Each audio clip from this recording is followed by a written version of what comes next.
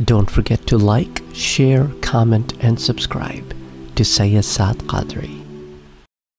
السلام علیکم ورحمۃ اللہ وبرکاتہ آپ میں سے ایک بھائی نے یہ ریکویسٹ کی ہے کہ کاکا زئی یہ پشتونوں کا ایک قبیلہ ہے اس کے بارے میں بات کی جائے اور اس کے قریبی خاندان اس کے بارے میں بھی تھوڑی بہت بات کی جائے تو دیکھیں جی یہ کاکا زئی لوئی ماموند اس نام سے بھی مشہور ہیں۔ اس کے بارے میں ذرا بات کرتے ہیں۔ دراصل یہ ترکانی، یا آپ سمجھ لیں ترکلانی یا ترکانٹری، یہ کاکازئی پشتونوں کے دادا، ان کے چار بیٹے تھے۔ ایک کا نام ماموند ایک کا نام سالار زئی، ایک کا نام ایسو زئی اور ایک کا نام اسماعیل زئی۔ یہ جو ماموند ہے، یہ دراصل محمود کا پشتو ورژن ہے، سمجھ لیں آپ۔ تو کاکا زئی پشتونوں کے والد امجد کے پھر دو بیٹے تھے۔ بڑے کی اولاد کو کاکا زئی اور چھوٹے کی اولاد کو ووڑ زئی کہتے ہیں، یا ووڑ بھی کہتے ہیں۔ کاکا بیسکلی پشتو میں بڑے کے لیے استعمال ہوتا ہے اور زئی کا مطلب ہوتا ہے نسل یا اولاد۔ تو کاکا زئی کا مطلب کیا ہوا پھر؟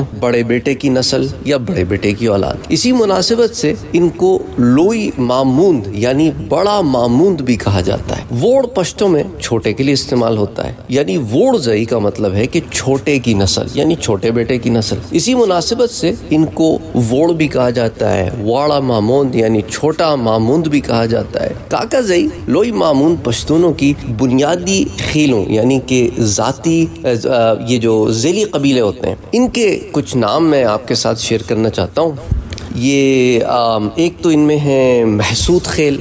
اسی طرح اس میں ہے محمود خیل، دولت خیل، عمر خیل، اسی طرح یوسف خیل، اسی طرح مخروط خیل اور خلوزوی خلوزئی، یہ یہ قبیلے جو ہیں ان کے اندر پائے جاتے ہیں۔ اچھا اسی طرح جو ہے کاکا زئی جو ہے جن کے مختلف ہجوں میں لکھا جاتا ہے، آپ مختلف جگہوں پہ جائیں گے تو آپ کو اس کے مختلف ہجے ملیں گے، لیکن دراصل یہ ایک ہی کا نام ہے۔ جیسے کہ آپ، مثال کے طور پہ آفریدی ہے کچھ لوگ اسے آفریدی الف کے اوپر مد کے ساتھ لکھتے ہیں۔ کچھ لوگ افریدی بغیر الف کے اوپر مت کے ساتھ لکھتے ہیں۔ کچھ اسی کو پے کے ساتھ اپریدی بھی لکھتے ہیں۔ لیکن بیسکلی یہ سیم ہے۔ اسی طرح کاکا زئی کا بھی ہے۔ کچھ ککا زئی لکھتے ہیں۔ کچھ کاکا زئی لکھتے ہیں۔ کچھ ککا زئی لکھتے ہیں۔ تو اس کے اندر ذرا ڈفرینسز ہجوں میں ہے بیسکلی ایک ہی ہے۔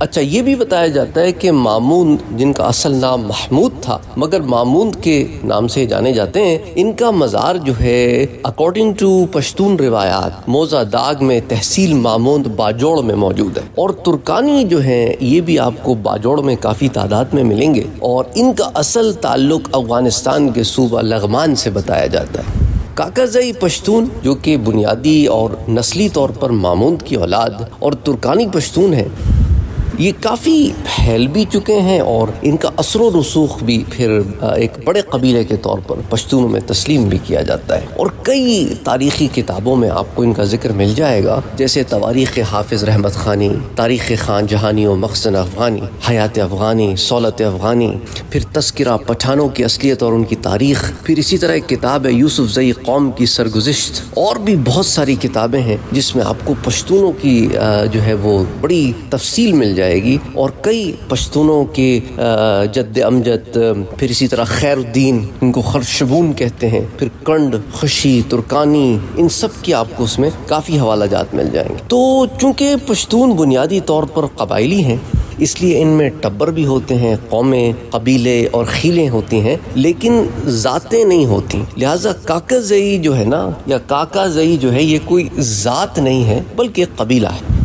اب سوال یہ پیدا ہوتا ہے کہ پھر یہ کاکا زئی یا لوئی ماموند افغانستان سے جنوبی ایشیا کیسے تو دیکھیں جی کاکا زائی جو ہے، محمود غزنوی ہو گیا یا پھر بہلول لودھی اور دیگر افغان حملہ آور افواج کے حملوں کے دوران کئی پشتون قبائل بھی ساتھ افغانستان سے جنوبی ایشیا آئے اور مختلف علاقوں میں آباد ہوئے اور اسی طرح پنجاب کے علاقوں میں بھی یہ آئے ہیں۔ اس زمین میں بتایا جاتا ہے کہ الیون ٹوینٹی ون عیسوی سے بھی پہلے یہ لوگ لوگ افغانستان سے ادھر جنوبی ایشیا میں آ کے آباد ہونا شروع ہو گئے۔ کیونکہ حملہ آور افواج کے لیے پنجاب میں اور دیگر علاقوں میں جو فتح ہو چکے تھے، وہاں پر چھاونیاں بھی بنائی گئیں کچھ نئی آبادیاں بھی بنائی گئیں، کچھ سرحدی چوکیاں بھی بنائی گئیں، ریسٹ ہاؤسز بھی بنائے گئے اور بہت ساری چیزوں کی وجہ سے نقل مکانی ہوئی۔ اور اس کی ایک وجہ وجہ یہ بھی تھی تاکہ لوکلز کے اندر باہر کے لوگوں کو بھی ذرا ضم کر کے نیوٹرلائز کیا جا سکے چیزوں کو۔ اور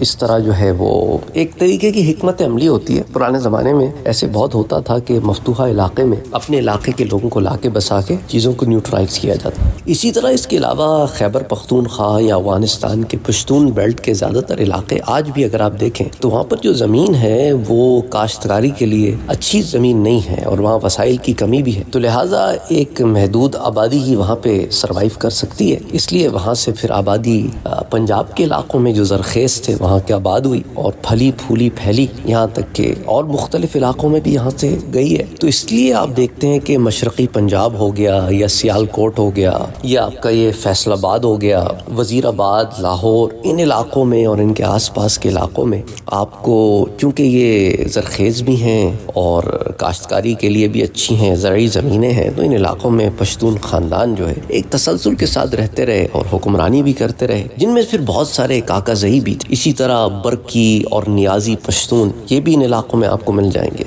اچھا اسی طرح بہت سے کاکا زئی برکی اور بہت سے اور جو ہے پشتون خاندان، برطانوی بھارت کے زمانے میں، یہ جالندھر میں گرداس پور کے اضلاع میں بھی آباد۔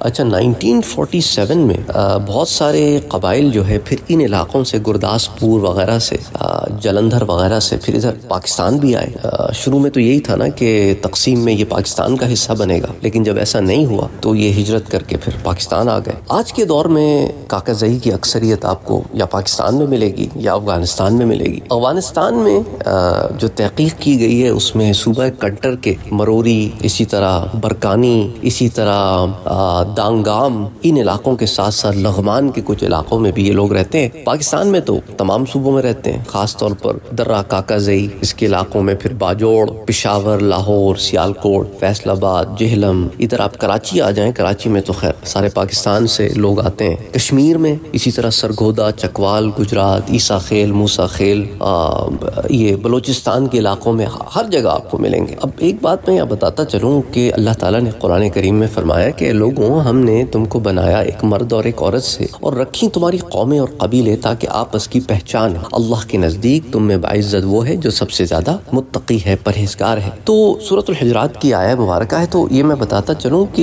یہ جو میں آپ کے ساتھ جیسے کمبو اسی طرح اور مختلف راجپوت وغیرہ اور مختلف قوموں کے بارے میں تذکرہ کرتا ہوں۔ اس سے مراد جو لوگوں کی پہچان ہے، اس سے متعلق بات کرنا ہے۔ اور اس میں اس کی ممانعت نہیں ہے دین اسلام میں۔ اگر ایسا ہوتا تو مسلمانوں نے کبھی ان تاریخ نہ لکھی ہو، تاریخی کتابیں نہ مرتب۔ اس سے مراد یہ نہیں ہوتی کہ کسی کو کسی سے نیچا گرایا جائے یا کسی بھی قسم کی ذات پات کے اوپر جو ہے ایسا کام کیا جائے کہ اس سے وہ چیز اور مضبوط ہو جائے، بلکہ لوگوں کی ایک پہچان ہوتی ہے، وہ اپنی پہچان کے بارے میں جاننا چاہتے ہیں۔ جیسا کہ جو لوگ مختلف علاقوں میں رہتے ہیں، وہ اپنے علاقوں کے متعلق بھی کتابیں لکھتے ہیں۔ اگر ایسا معاملہ ہوتا کہ یہ چیز کوئی دین کے خلاف بات ہوتی، تو اللہ تعالیٰ اتنا واضح طور پہ نہیں بیان فرماتا کہ یہ تمہاری پہچان ہے۔ اور پہچان کے اوپر تحقیق کر کے ہی اس پہچان کو پہچانا جاتا ہے۔ تو بعض لوگ جب میں اس طرح دروس دیتا ہوں، تو وہ اس کو الگ رنگ دینے کی کوشش کرتے ہیں اور یہ ان کا مغالطہ ہے۔ بہرحال میں سمجھتا ہوں کہ اس تفصیل سے آپ کو کاکا زئی